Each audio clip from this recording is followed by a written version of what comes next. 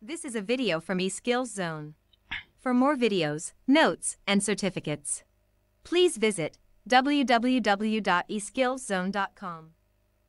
Hello and welcome. Hi viewers. Today in this video we will learn how to insert SmartArt to the slide.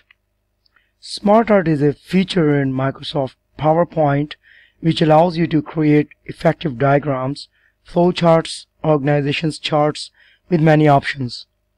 To insert SmartArt in your presentation, we will follow the given steps. First, we will click the Insert tab from the ribbon. And from here, we will click the SmartArt from the illustration group. This is the illustration groups. This is the Insert tab. And this is the SmartArt option. So viewers, when we will click it, you can see that the Choose SmartArt Graphic dialog box appears on the screen.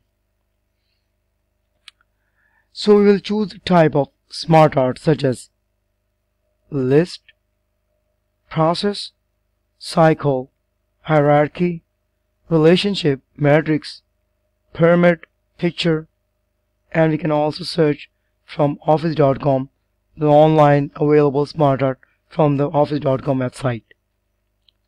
So we will select the cycle option. From here to type cycle. And we will click the OK button. So here you can see the definition of this basic cycle text cycle. Like there are a number of different types of cycles. Smart art available in Microsoft PowerPoint so we are going to select this one. And we're going to read the definition as well used to represent a continuing sequence of stages, tasks, or events in a circular flow emphasizes the stages or steps rather than the connecting arrows or flow. Works best with level 1 text only. So we'll select this basic style type and we'll click at the OK button. So viewers now you can see that the new tabs automatically appears on the ribbon on the heading smart art. These two tabs are design tab and format tab.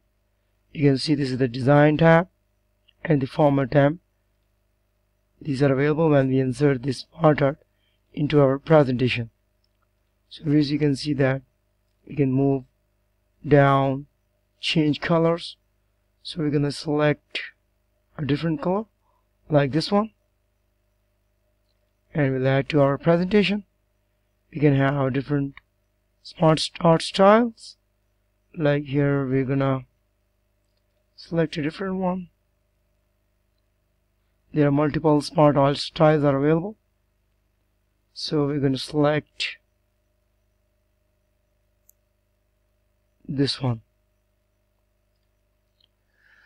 So we can add a different name like if we are gonna type the flowchart commands like start and then input and then can type process and then you type decision making and then we'll type stop.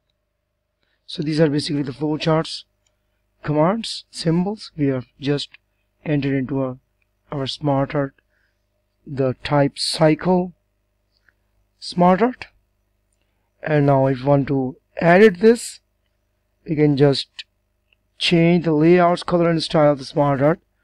Now to edit smart art we will follow the given steps. First we will click double click the smart art like this way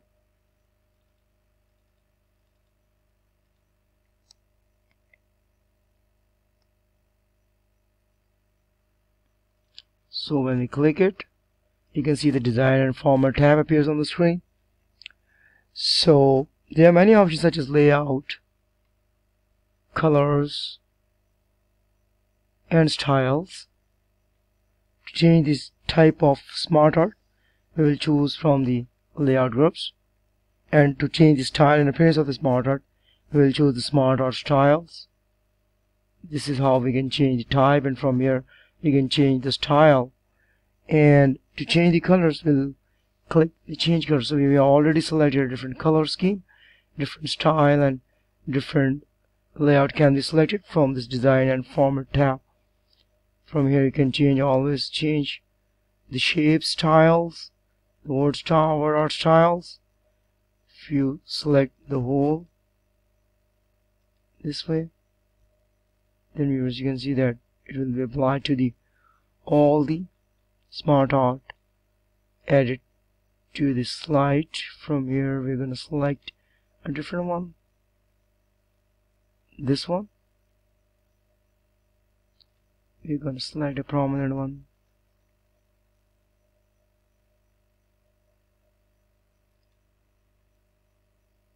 So this is how we can change the word art style you can give give a different shadows glows different text effects can be added to the smart art as well. And we can always do the selection pane and we can do the alignment as well. So there are multiple you know you can perform alignment as well. So so this is how you can do the editing in smart art. So that's all and thanks for watching Thank you.